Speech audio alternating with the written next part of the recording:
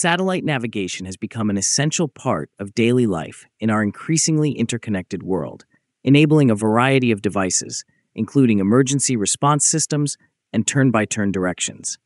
The Global Positioning System, GPS, which was developed by the United States, has become synonymous with satellite navigation, much like the way we frequently use the term Google to refer to a search engine. Nevertheless, it is not the only player in the competition. Another sophisticated approach to global positioning is represented by Russia's GLONASS, Global Navigation Satellite System, which provides distinct benefits and capabilities that occasionally compete with GPS.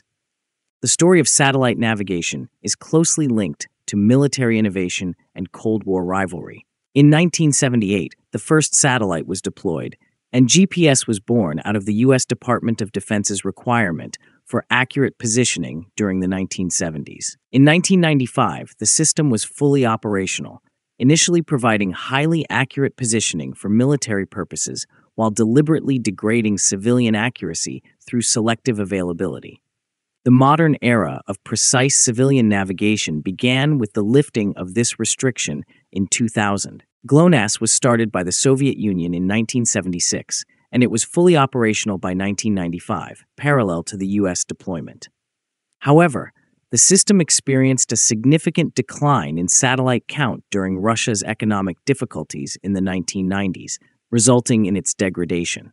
GLONASS was revitalized by the Russian government's renewed focus and financing in the 2000s, resulting in its full operational status by 2010 and becoming known as a viable alternative to GPS. The fundamental principles of both GPS and GLONASS are similar, but their implementations are different. These systems are dependent on a constellation of satellites that continue to broadcast signals containing their precise position and time as they orbit the Earth at precise altitudes. Trilateration is a method by which a receiver on Earth can determine its position by capturing signals from multiple satellites usually four or more, and calculating the distances between them based on the time it takes for the signals to reach.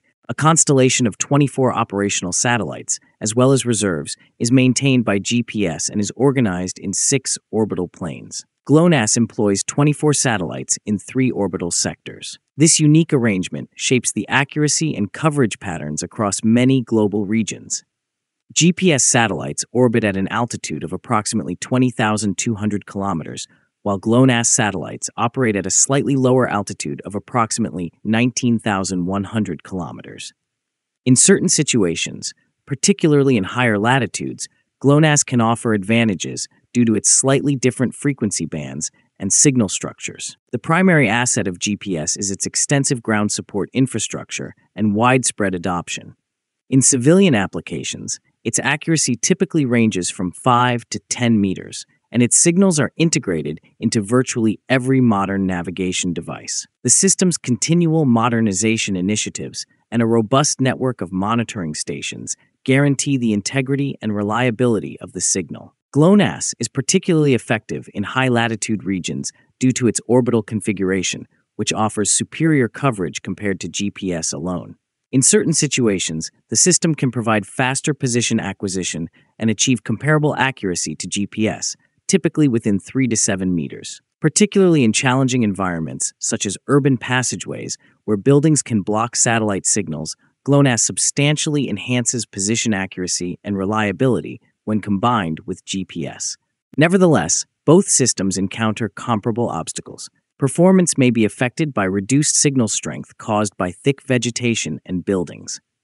Both are affected by interference and congestion, regardless of whether they are intentional or unintentional. Furthermore, the ongoing maintenance of these sophisticated satellite networks requires a significant amount of technical expertise and investment. Competition, cooperation, and interoperability are the keys to the future of satellite navigation. GPS, GLONASS, Galileo, and the Beidou system of China are all among the satellite constellations that modern receivers are progressively using. In challenging environments, this multi constellation approach offers improved accuracy, better coverage, and redundancy. Both systems are being improved by technological advancements. GPS is modernizing its space segment with GPS 3 satellites and implementing new civilian signals which provide enhanced accuracy and anti jamming capabilities. GLONASS is also in the process of evolving, with the development of new GLONASS K2 satellites that will offer enhanced precision and additional signals. It is anticipated that this will result in a future rivalry between GPS and GLONASS. The rivalry is not solely technical, it is also influenced by geopolitical tensions. Russia's objective is to improve GLONASS as a viable alternative to GPS, which has been historically dominated by the United States. This involves the potential to enhance the competitiveness of GLONASS by expanding its ground stations globally. In regions where both systems are used, the competition may result in increased tensions or conflicts over technological superiority and control over navigation services, particularly due to the substantial investments made by both nations in their respective systems. The emergence of alternative systems, such as the EU's Galileo, China's Beidou, and India's regionally focused Navic, is altering the landscape of global navigation satellite systems, GNSS. This diversification may result in heightened competition among all of these systems, including GPS and GLONASS. Now, do you think GLONASS can ever beat GPS in usage? Let us know in the comments. Please like and share our videos and subscribe to our channel. Please also take membership in our channel to encourage us.